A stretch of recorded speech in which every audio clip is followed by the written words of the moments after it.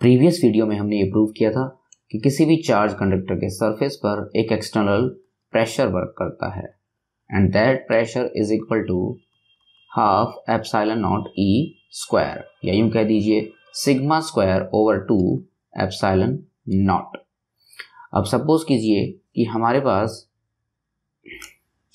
कोई spherical conductor है। उसे हमने पहले से चार्ज किया हुआ है। सो स्फेरिकल कंडक्टर के चारों तरफ़ उसकी इलेक्ट्रिक फ़ील्ड होगी। और मान लीजिए कि हमें उसकी इलेक्ट्रिक फ़ील्ड को इंक्रीज करना है। अब किसी स्फेरिकल कंडक्टर की इलेक्ट्रिक फ़ील्ड को आप इंक्रीज कैसे कर सकते हो? उसके ऊपर जो चार्ज है, उसे इंक्रीज कर दीजिए। चार्ज को इंक्रीज करते ही इलेक्ट्रिक फ़ील्ड भी इंक्रीज हो जाएगी। लेकिन अगर आप इसको कुछ एक्स्ट्रा चार्ज देंगे तो आपको कुछ वर्क भी करना पड़ेगा। वही वर्क इस कंडक्टर की इलेक्ट्रिक फ़ील्ड में एज अ एनर्जी स्टोर हो जाएगा। ओके सो so, इस इलेक्ट्रिक फ़ील्ड के यूनिट वॉल्यूम में जो एनर्जी स्टोर्ड है उसके लिए उसको उसका एक्सप्रेशन फाइंड आउट करने के लिए हम ये करेंगे कि हम ये मान के चलेंगे कि इस कंडक्टर की जो रेडियस है उसे हमें डी आर डिक्रीज करना है। उसे डिक्रीज करने में हमें कितना वर्क करना पड़ेगा। सो मान लीजिए मैंने इसको डी आर डिक्रीज कर दिया।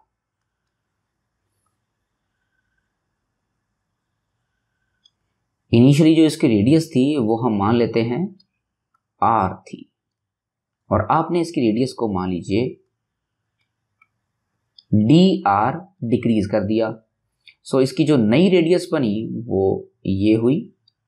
यह R minus D R okay so ये सब करने के लिए आपको वर्क भी करना पड़ा।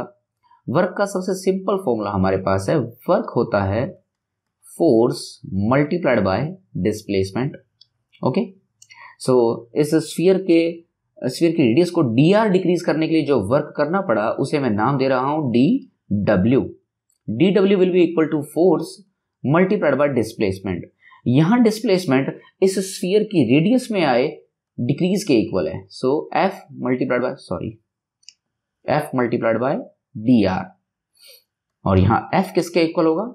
फोर्स होता है pressure multiplied by area into D R pressure ये हमें, हमने पहले ही फाइंड आउट कर रखा है। Half F epsilon naught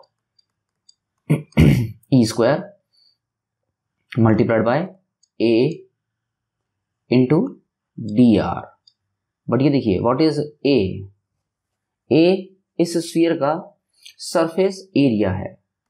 So D W is equal to half epsilon naught E square area four pi R square into D R अब ये last वाली क्वांटिटी देखिए आप। ये एक्चुअल में स्फीयर के वॉल्यूम में जो कमी आई, ये वो चीज़ है। लेकिन स्फीयर के वॉल्यूम में जो कमी आई है, वो एक्चुअल में स्फीयर के चारों तरफ़ जो इलेक्ट्रिक फ़ील्ड थी, उसके वॉल्यूम में आया इंक्रीमेंट है। सो इसे मैं डीवी नाम दे रहा हूँ। अब डीवी को आप स्फीयर के वॉल्यूम में आई, कमी कह दीजिए, या स्फीयर के चारों तरफ़ जो इलेक्ट्रिक फ़ील्ड है, उसमें आया इंक्रीमेंट कह दीजिए।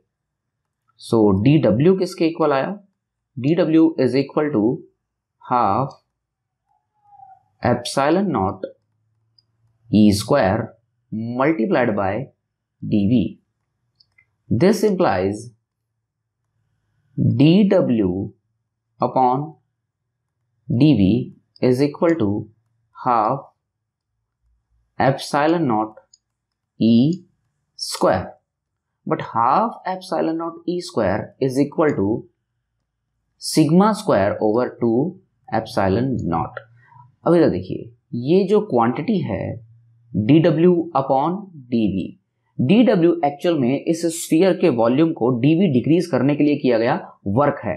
बट हमने जो वर्क किया, वही इस स्फीयर की जो इलेक्ट्रिक फ़ील्ड थी, उसमें एज अ एनर्जी स्टोर हो गया था। हो गया था। तो ये D W upon D V जो है, ये एक्चुअल में इस स्फीयर की इलेक्ट्रिक फ़ील्ड के यूनिट वॉल्यूम में स्टोर्ड एनर्जी है।